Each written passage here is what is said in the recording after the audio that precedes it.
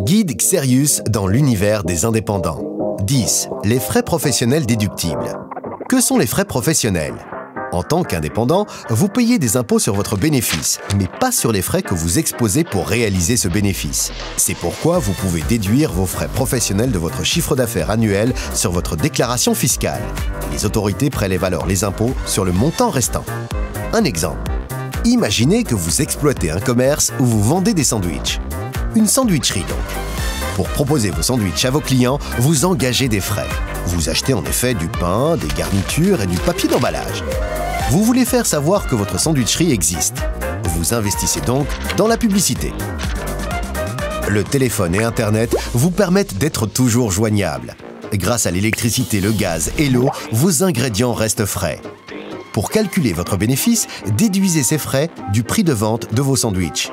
Le résultat que vous obtenez est le montant que vous devez déclarer au fisc et sur lequel vos impôts sont calculés. Quels frais professionnels pouvez-vous déduire?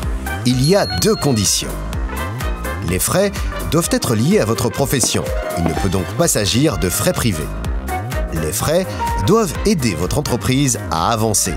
Autrement dit, vous devez dépenser ou investir pour lancer ou faire prospérer votre entreprise.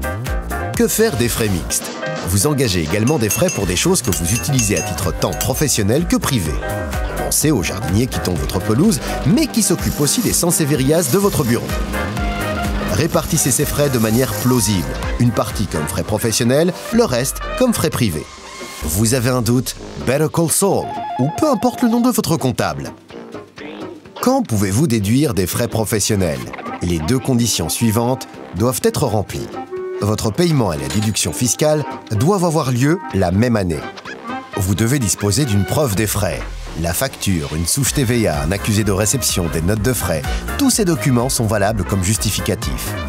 Devez-vous déduire vos frais professionnels en tout ou en partie? De nombreux frais professionnels peuvent être déduits dans leur intégralité de vos impôts. Quelques exemples courants. Les frais liés à votre bureau, tels que votre prêt, le loyer, le chauffage, le téléphone et Internet. Les cotisations sociales que vous avez payées chaque trimestre. Les assurances.